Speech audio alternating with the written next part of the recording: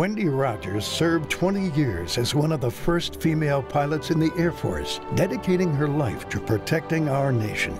These times call for strong leaders like Colonel Wendy Rogers, who will keep us secure and preserve seniors' retirement. Wendy Rogers wants to serve again to ensure college is affordable and to get America back to work. I've dedicated my life to service, to leadership, and I'm ready to serve. I'm Wendy Rogers, and I approve this message.